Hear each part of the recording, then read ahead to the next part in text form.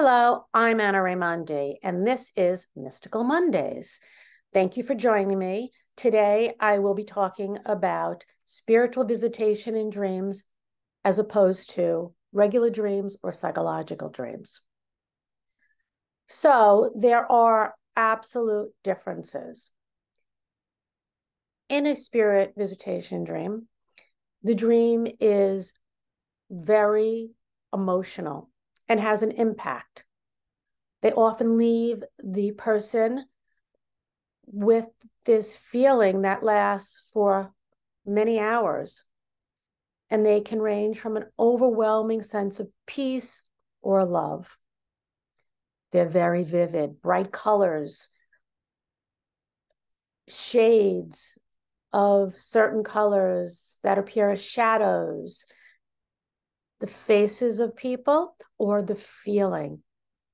All of our loved ones do not come through in a physical form where you can see their face.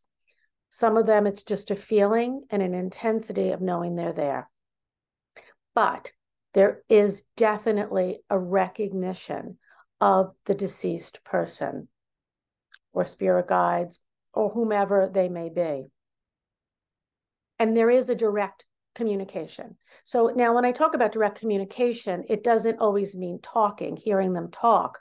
Sometimes it's telepathic or um, an all knowing. They often leave messages to help us in our daily lives or to let us know that they're okay. They're very lucid in terms of how we are experiencing them,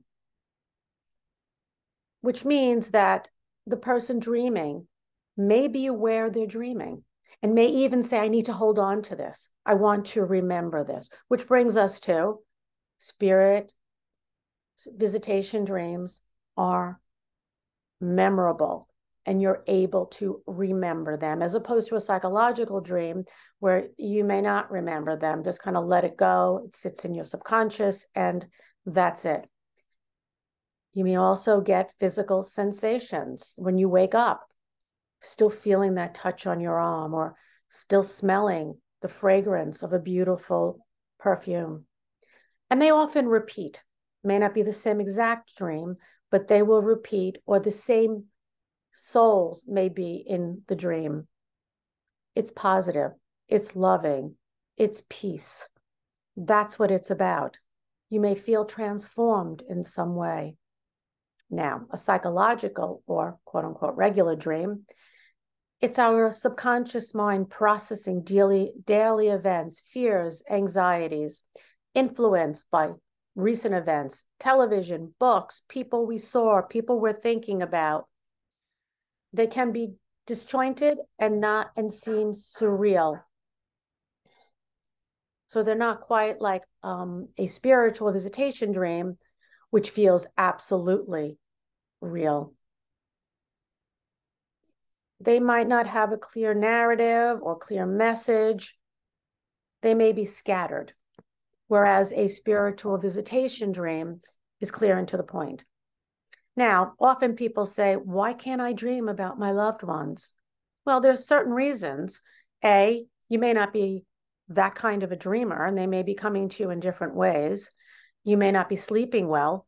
That often affects how how and what we're going to see in dreams because the dream is not it can't go on during uh, a typical REM space or you are dreaming about them and you push it away for some reason my suggestion is before you go to sleep ask the angels to help your loved ones come through to you to help you sleep and to help you recognize it's them and ask your loved ones to come through in dreams in a way that you will know them and hear them and feel them.